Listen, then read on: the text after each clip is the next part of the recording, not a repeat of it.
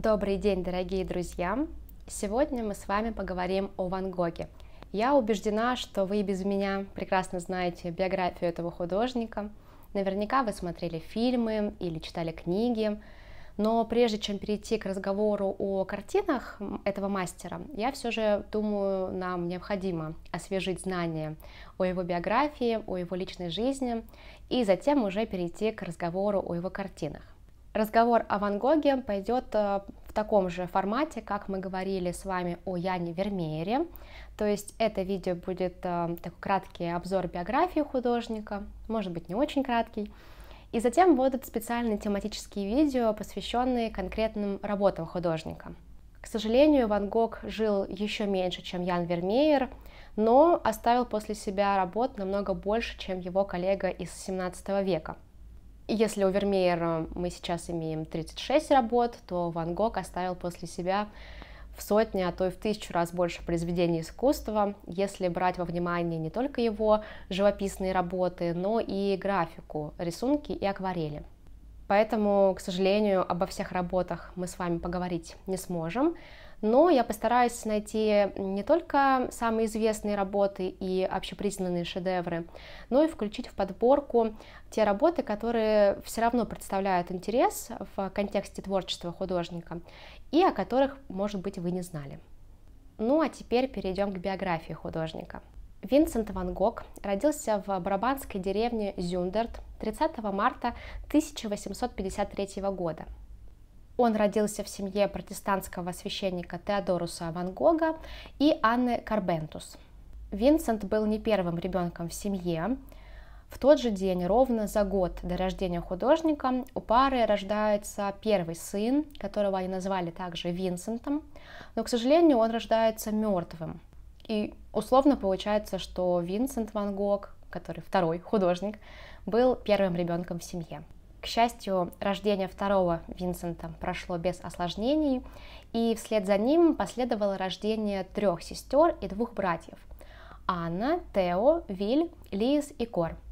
Семья Ван Гогов часто совершала прогулки по окрестностям деревни Зюндерт, и это привило мальчику, будущему художнику, любовь к природе, любовь к долгим прогулкам и любовь к нахождению на открытом воздухе. В возрасте 11 лет э, Винсент переходит из деревенской школы в Зюндерте в школу-интернат в Зевенбергене. Лишенный возможности общения со своей семьей, со своими братьями и сестрами, с возможностью совершать долгие прогулки на природе, Винсент был глубоко несчастен в этой школе. Но тем не менее он сумел закончить начальную школу. Уже в это время Винсент время от времени рисует, но особых признаков художественного таланта пока у него не обнаруживается. В 13 лет Винсент пошел в среднюю школу в Тилбурге, это все Южные Нидерланды. Там он получал довольно хорошие оценки, особенно по языкам. Тем не менее, во время второго года обучения, а именно в 1867-68 годах, Винсент бросает школу по неизвестным причинам и больше в нее никогда не возвращается. Дядя Винсента нашел 16-летнему Ван Гогу работу в качестве стажера у международного арт-дилера Гупиля. Он был принят в филиал, который э, дядя Сент, сокращенно от Винсент, открыл в Гаге. И я думаю, вы знаете, что Ван Гог оставил после себя огромное количество писем, которые он писал и своему брату, и своим друзьям. Так вот, самое раннее из сохранившихся писем Ван Гога относится как раз к первым годам работы у Гупиля. Сентябрь 1872 года положил начало переписке между Винсентом и его младшим братом Тео, который также поступает на службу к Гупилю в 1973 году, но он поступает в филиал в Брюсселе. И на основе общих интересов, общей работы братья и начинают свою переписку. В это время Винсент переходит э, из филиала в Гаге в лондонский филиал Гупиля. Во время своего пребывания в Лондоне Винсент посещал такие известные музеи, как Британский музей и Национальная лондонская галерея, где среди работ, которыми он восхищался, были произведения так называемых крестьянских художников, таких как Франсуа Миле и Жюля Бретона. Винсент также много читал, от путеводителей по музеям и журналов до литературы и поэзии – В 1875 году Винсента переводят в филиал Гупиля в Париж. Этот период знаменуется тем, что Ван Гог становится все более и более религиозным. Письма, которые он писал в это время Тео, полны цитат из Библии и рассказов о церковных службах и проповедях, которые художник посещал. Несмотря на интерес к искусству, Винсенту все меньше и меньше нравилось работать в художественной фирме. Это чувство можно назвать взаимным, потому что в 1876 году Гупиль увольняет Винсента из своей фирмы. После увольнения Винсент возвращается в Англию, где работает неоплачиваемым помощником учителя в школе-интернате для мальчиков в Рамсгейте. Позднее он нашел оплачиваемую работу, также в школе-интернате, управляемой викарием в под Лондоном. Ему разрешалось проповедовать в школе и в окрестных деревнях, но работа давала очень мало перспектив. Рождество 1876 года Винсент проводит со своей семьей в Брабанте. Отец рекомендует ему не возвращаться в Англию, и Ван Гог э, следует совету своего отца. Здесь вновь на помощь приходит дядя Сент, который находит молодому Ван Гогу работу служащего в книжном магазине в Дордрехте, недалеко от Роттердама. Винсент вступает в должность в январе 1877 года, и в этот период в нем вновь проявляется чрезмерная религиозность. Родители всерьез обеспокоены, потому что Винсенту уже 24 года, а у него до сих пор нет э, четкой цели в жизни и какого-либо определенного занятия. Через несколько месяцев э, Винсент убеждает родителей, и они соглашаются с его планом изучать теологию. Однако, так как Ван Гог не окончил э, школу, ему сначала нужно было сдать вступительный экзамен. Винсент переезжает в Амстердам, где живет год у своего дяди. Другой дядя, который был священником, помог ему подготовиться к вступительному экзамену по теологии. Однако вся поддержка семьи оказалась напрасной, потому что Винсенту не хватало усидчивости и дисциплины для учебы. Он предпочитал бродить по городу и совершать долгие прогулки по окрестностям. Через какое-то время, когда Ван Гог так и учился спустя рукава, его дядя, священник, посоветовал ему забыть об учебе и о теологом. Несмотря на отказ от э, планов по обучению, Винсент по-прежнему стремился служить Богу. Он покинул Амстердам и отправился на новую миссию в Бельгию, где работал мирским проповедником в шахтерском городке Баринаж. Он э, проповедовал там, посещал больных и читал им Библию. И вот что Винсент пишет своему брату Тео. Место это мрачное. На первый взгляд во всей округе и есть что-то жуткое и мертвенное. Здешние рабочие большей частью люди истощенные и бледные. Их постоянно гложет лихорадка. Лица у них изнуренные, измученные, обветренные и преждевременно состарившиеся. Женщины, как правило, выглядят поблекшими и увядшими. Винсент жил среди шахтеров и их семей в Баринаже, разделяя их бедность. Он спал на полу и раздавал все свое имущество. Но его преданность делу была настолько велика, что его прозвали «Христос угольной шахты». Тем не менее, Винсенту не удалось создать сплоченную общину верующих, и его контракт не был продлен. В это время Винсент все больше и больше внимания, пусть, наверное, и неосознанно, уделяет рисованию. Он часто включает небольшие зарисовки в письма, которые отправляет своему брату Тео, а иногда прилагает э, целые рисунки того, что он увидел. В конце концов, это привело к поворотному моменту в жизни Ван Гога. Его брат Тео посоветовал ему сосредоточить свое внимание на искусстве, на рисовании. Винсент понимает, что он может продолжить служить Богу в качестве художника – в октябре 1880 года он перебирается в Брюссель, где начинает работать над техникой рисования и где он вступает в контакт с другими художниками. У него больше не было оплачиваемой работы, и поэтому его брат Тео время от времени присылает ему деньги. Весной 1881 года Винсент снова приезжает к родителям, которые теперь жили в Этене, а, также в Брабанте. Он занимается рисованием и часто работает вне дома, на своей любимой природе. А тем временем его брат Тео продолжает подниматься по карьерной лестнице. Его назначают управляющим Гупилю в Париже. Он поддерживает Винсента материально, чтобы его старший брат мог все свое время уделять искусству. Что касается родителей Ван Гогов, то они, напротив, были крайне разочарованы тем, что их старший сын выбрал себе путь художника. Эта жизнь в их глазах была синонимом социальной неудачи. Не помогло и то, что Винсент влюбился в свою кузину Кея Вос. Кея была вдовой и не хотела иметь ничего общего с молодым Винсентом, но тот упорствовал. Это не понравилось его семье, и после ссоры с отцом Винсент покидает родительский дом в декабре 1881 года. Он переезжает в Гагу. Винсент пишет в это время своему брату. «Отец не может ни понять меня, ни посочувствовать мне, а я не могу примириться с его отношением к жизни. Оно так ограничено, что я задыхаюсь».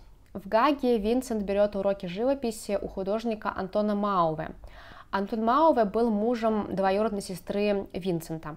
Ван Гог чувствовал, что его техника рисования еще недостаточно хороша, поэтому он также продолжал фанатично заниматься. Дядя дает Винсенту заказ – 12 рисунков с видами города Гаги. Эта серия дала возможность развить навыки перспективы. А Мауве обучал Винсента основам живописи, акварелью и маслом, и Ван Гог посещал его мастерскую почти каждый день. Уже в этом проявляется истинный фанатизм Ван Гога в том, что касается живописи. В 1882 году Винсент познакомился с Сиен Хунрик. Она стала одновременно и моделью художника, и его любовницей. Друзья и семья Винсента, включая Мауве, были шокированы, поскольку Сиен была бывшей проституткой. Более того, она была беременна, и у нее была пятилетняя дочь. Однако Винсенту было жалко Сиен, и он твердо решил заботиться о ней. Они сняли студию, в которой могли жить э, и Ван Гог, и Сиен, и ее новорожденный младенец, и пятилетняя девочка. Тео тоже не одобрял выбор Винсента, но все равно продолжал поддерживать его материально. Здесь проявляется упрямство Винсента. Он долго стоял на своем, но в конце концов понял, что его отношения с Сиен складываются не так, как он надеялся, и он их разорвал. А потом он как бы оправдывается перед своим братом. Я с самого начала знал, что ее личность разрушена, но я надеялся, что она встанет на ноги. После разрыва с Сиен Винсент отправляется в сельскую местность в Дренте, чтобы рисовать э, и писать вересковые пустоши и болота. Пейзаж показался ему довольно прекрасным, и он с хорошим настроением принялся за работу. Тем не менее, эта провинция принесла ему не только покой и вдохновение, но и тревоги. Он пишет, «Дренте – замечательный край, но возможность жить там зависит от многого, в частности от того, способен ли ты вынести одиночество». Менее чем через три месяца холод, дождь и изоляция заставили Винсента покинуть Дренте и переехать в новый дом его родителей в брабанской деревушке Ньюэнен. Туда он перебирается в декабре 1983 года. Сначала он работает в небольшой студии в задней части дома, но через несколько месяцев он арендует пустое помещение в другой части деревни. Ньюэнен был эм, идеальным местом для крестьянского художника. Винсент не оставляет эту любовь и тему. Здесь жило много фермеров, э, сельских рабочих и ткачей, которых Винсент э, рисовал при любой возможности. В начале 1884 года Винсент э, предложил начать отдавать Тео работы, которые он писал, в обмен на пособие, выплачиваемое его братом. Идея заключалась в том, чтобы Тео продавал работы Винсента на парижском художественном рынке. Но, к сожалению, этот план ни к чему не привел, потому что французские вкусы больше тяготели к цвету, а работы Винсента того периода были явно темных тонов. Все, конечно, кардинальным образом изменится, но еще не скоро. Родителям Винсента было трудно жить со своим старшим сыном, который отказался вести себя довольно традиционно, то есть выбрать какую-то классическую профессию и усердно работать. Вскоре после смерти своего отца, в конце марта 1885 года, Ван Гог покидает семейный дом и переезжает в свою студию, где начинает работать над известным произведением «Едоки картофеля». Винсент э, совмещал свою тяжелую работу над, э, как он называл, этой штукой с крестьянами вокруг блюда картошки по вечерам э, с курением и плохой диетой. Большая часть его денег уходила на материалы для рисования, и на еду практически денег не оставалось. В конце того же года он решил поступить в Академию художеств в Антверпене и покинул Нидерланды, чтобы больше туда никогда не вернуться. Антверпен мог предложить Винсенту многое. Хорошие материалы, кружки рисования с натурщиками, церкви, музеи, галереи, наполненные искусством. Однако уроки рисования, которые он посещал в академии, были для него слишком традиционными. Винсент пишет Тео, «Я действительно нахожу все рисунки, которые я вижу там, безнадежно плохими и в корне ошибочными. И я знаю, что мои совершенно другие – Просто время должно будет показать, кто прав.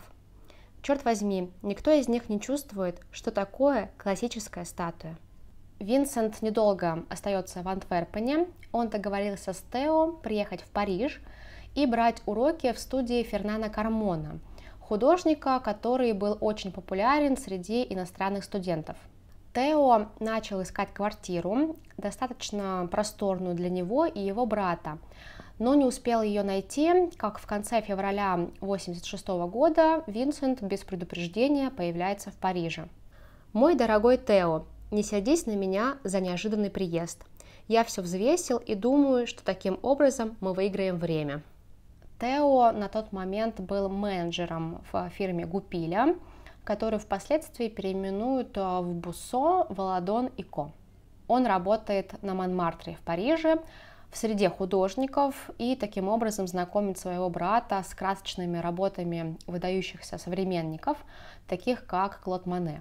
Винсент также познакомился с новым поколением художников а, в студии Фернана Кармона, включая Анри Тулуза-Латрека и Эмили Бернара. Все эти новые впечатления и новые люди оказали влияние на собственные работы Винсента и вдохновили его на свободные эксперименты – Темные тона едоков картофеля довольно быстро сменились более яркими красками, как, например, в картине «Холм Монмартра с каменным карьером». Постепенно, постепенно, под влиянием современного искусства, работы Винсента становятся все ярче и ярче. Он использовал все более яркие цвета и разработал свой собственный стиль живописи с короткими резкими мазками кисти. Изменились и темы его картин – Крестьяне уступили место кафе и бульварам, а сельская местность была заменена набережными сены и цветочными натюрмортами. Ван Гог пробует себя и в более коммерческом жанре, в портретах, однако Винсент по большей части сам был натурщиком своих работ, потому что модели стоили относительно дорого. Тем временем он открывает для себя новый источник вдохновения в японских ксилографиях – которые в большом количестве продавались в Париже. Винсент и Тео начинают их коллекционировать, и влияние смелых контуров, обрезанной композиции и цветовых контрастов этих гравюр сразу же проявились в собственных работах Ван Гога. Через два года Винсент начинает уставать от бешеной городской жизни Парижа. Он пишет своему брату, Работать в Париже, по-моему, совершенно невозможно, если только у человека нет такого места, где он мог бы передохнуть, успокоиться и снова встать на ноги. Без этого он неизбежно опускается.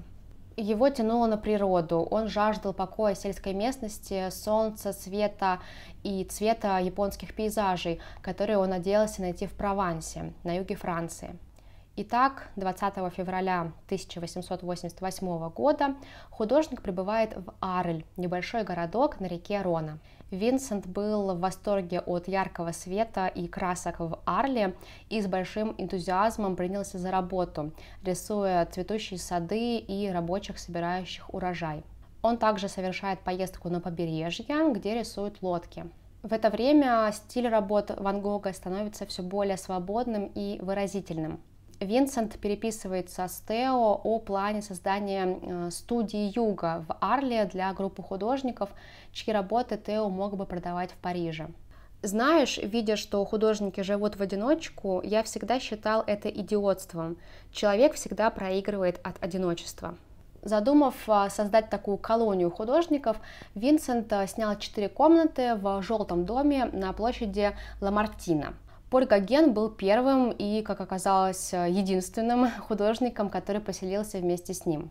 Гоген приехал в конце октября 1888 года, но только после очень длительных уговоров. Тео, например, пришлось оплатить все дорожные расходы Гогена, но он был рад сделать это для счастья своего брата. Вот что он пишет Винсенту. Итак, Гоген едет. Это сильно изменит вашу жизнь. Я надеюсь, что ваши усилия позволят превратить ваш дом в место, где художники будут чувствовать себя как дома. Ван Гог и Гоген много работали вместе, и результатом их э, такого сотрудничества стали довольно исключительные работы, в некотором роде даже парные. В то же время, однако, эти два человека имели очень разные взгляды на искусство, что приводило к частым жарким спорам. Мы с Гогеном много спорим о Делакруа, Рембранте и так далее. Наши дискуссии наэлектризованы до предела, и после них мы иногда чувствуем себя такими же опустошенными, как разряженная электрическая батарея. Гоген работал в основном по памяти, в своем воображении, в то время как Винсент предпочитал рисовать то, что он видел перед собой. И у художников были довольно разные характеры, что привело к тому, что напряжение между ними постоянно росло. Винсент начал проявлять признаки волнения, и когда Гоген пригрозил уйти, давление стало слишком сильным. Ван Гог настолько расстроился, что пригрозил своему другу бритвой. Позже, вечером того же дня, художник отрезал кусочек своего уха, завернул его в газету и подарил проститутке в ближайшем квартале красных фонарей. На следующее утро после того, как Ван Гог отрезал себе ухо, он был помещен в больницу в Арле – Тео прыгает в первый поезд и мчится на юг, как только услышал эти новости. Я нашел Винсента в больнице в Арле. Окружающие его люди поняли из его волнения, что в течение последних нескольких дней у него проявлялись симптомы этой самой ужасной болезни – безумия.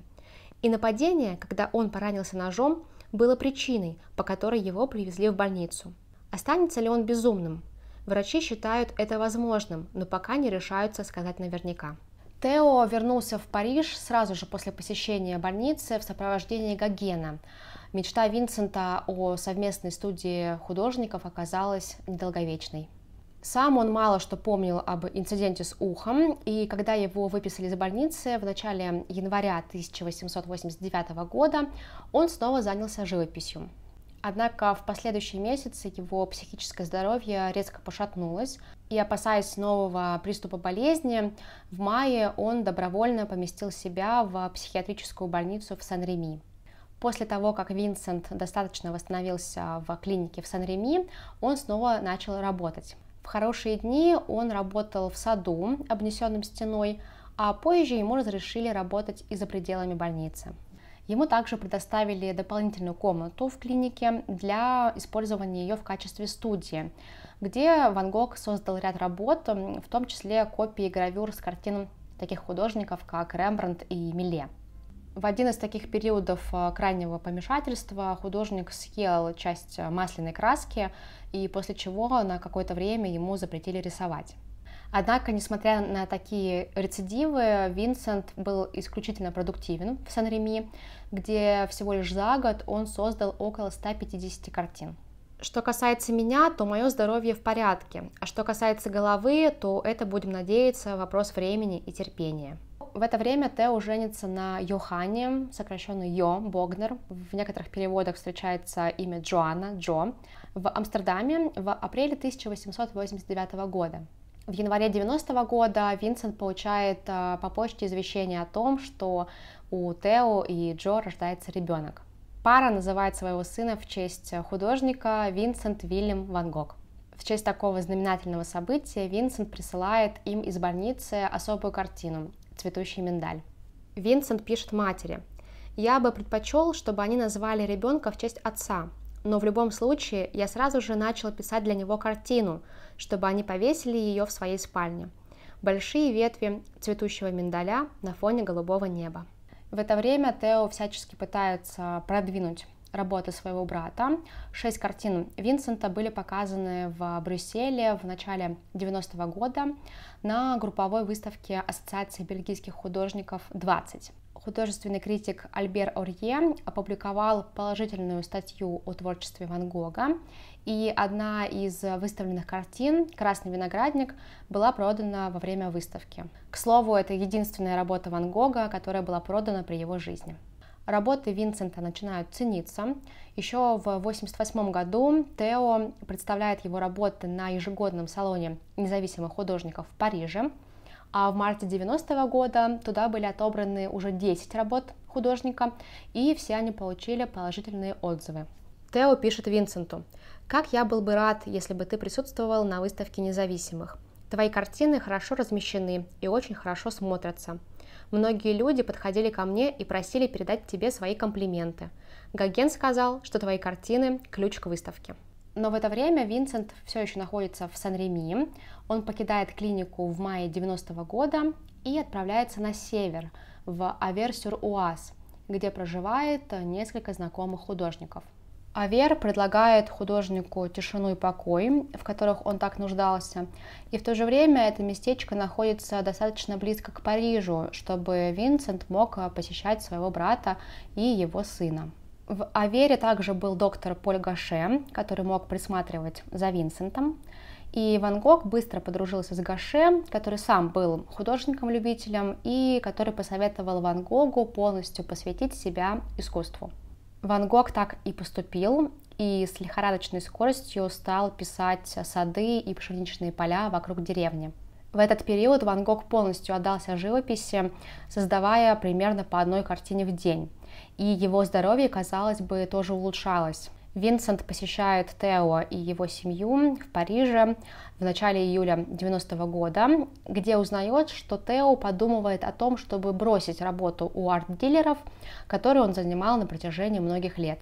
Тео хотел открыть собственное дело, что неизбежно представляло определенный финансовый риск. И Винсент возвращается в Авер очень обеспокоенным. Вернувшись сюда, я тоже все еще чувствовал себя очень опечаленным и продолжал чувствовать шторм, который угрожает вам, также давящий и на меня. И Тео, и его жена Джо писали Винсенту, чтобы успокоить его.